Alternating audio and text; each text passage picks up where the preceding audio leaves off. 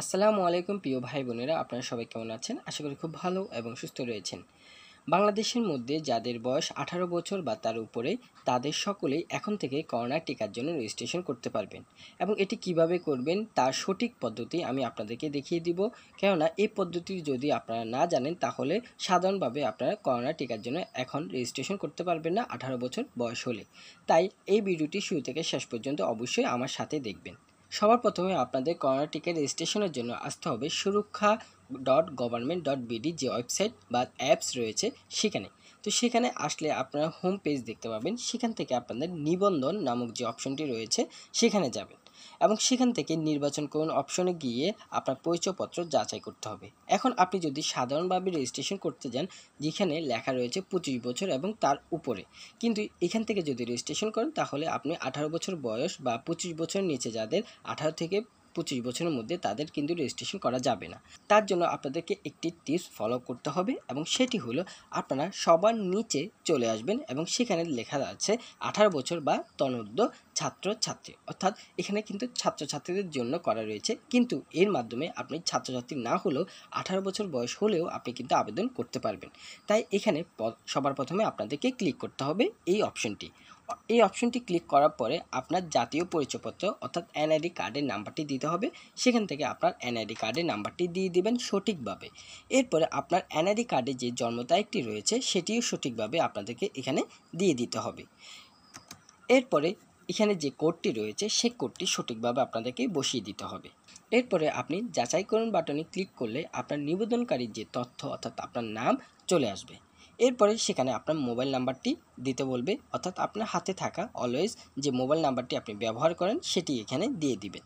এরপর সেই মোবাইল নাম্বারটি দেওয়ার পরে আপনি যে ঠিকানা থেকে আপনি ভ্যাকসিন নিতে ইচ্ছুক, অর্থাৎ যে ঠিকানা থেকে আপনি টিকা গ্রহণ করতে চাচ্ছেন সেই ঠিকানা দিতে হবে সবার প্রথমে বিভাগ, এরপরে জেলা, এরপরে হলো আপনার উপজেলা, এরপরে ইউনিয়ন, এরপরে হলো সেখানের ওয়ার্ড নাম্বার।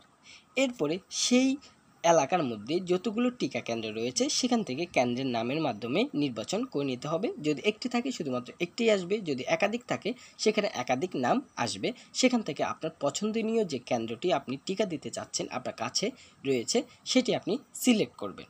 এরপরে সেখান থেকে আপনি সংরক্ষণকরণ বাটন যেটি রয়েছে, সেখানে ক্লিক করবেন। সাথে সাথে আপনার যে মোবাইল নাম্বারটি দিয়েছেন, সেখানে একটি ওটিপি কোড চলে যাবে।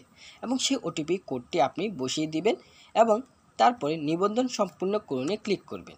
নিবন্ধন সম্পূর্ণ হলে আপনাদেরকে আরেকটি কাজ করতে হবে। সেখান থেকে আপনাদেরকে টিকা কার্ড যে অপশনটি রয়েছে, সেখানে আপনাদেরকে ক্লিক করতে হবে। সেখান থেকে আপনার জাতীয় পরিচয়পত্র নাম্বারটি আবার দিতে হবে। এরপরে আপনার জন্ম তারিখ, মাস, বছর আবার দিতে হবে। এরপরে আপনাকে যে কোডটি রয়েছে, সেটি আবার দিতে হবে। এরপরে যাচাই করুন বাটনে ক্লিক করতে হবে। এরপরে আপনি একটু আগে যে নাম্বারটি দিয়েছেন, সে নাম্বারে আরও একটি কোড যাবে, অর্থাৎ ওটিপি যাবে, সেই ওটিপিটি আবার এখানে বসিয়ে দিবেন। এরপরে সেখান থেকে ভ্যাকসিন কার্ড ডাউনলোড যে অপশনটি রয়েছে, সেখানে ক্লিক করবেন এবং নিচে আপনার ভ্যাকসিন কার্ডটি দেখাবে এবং ভ্যাকসিন কার্ড ডাউনলোড অপশনটিও চলে আসবে। সেখান থেকে আপনি ভ্যাকসিন কার্ড ডাউনলোড করে ফেলবেন। এভাবে আপনি আঠারো বছর বয়স হলেই টিকা কার্ডের জন্য, অর্থাৎ করোনা টিকার জন্য রেজিস্ট্রেশন করতে পারবেন। আপনি ছাত্রছাত্রী হলেও তো হলোই আর যদি ছাত্রছাত্রী না হন, তাহলেও এইভাবে রেজিস্ট্রেশন করে ফেলতে পারবেন। আর এইভাবে আপনি খুবই সঠিকভাবে এবং সহজভাবে আপনি করোনা টিকার জন্য রেজিস্ট্রেশন করে ফেলতে পারবেন। ঘরে বসেই নিজে নিজেই। এছাড়া যে কোনো তথ্য জানার জন্য আমাদের ফেসবুক পেজ এবং আমাদের ভিডিও ডিসক্রিপশন বক্সের যে কমেন্ট বক্স রয়েছে সেখানে আপনারা কমেন্ট করতে পারবেন। যে কোনো তথ্যের জন্য আপনারা হেল্প চাইতে পারেন। ভালো থাকুন, সুস্থ থাকুন, আল্লাহ হাফেজ।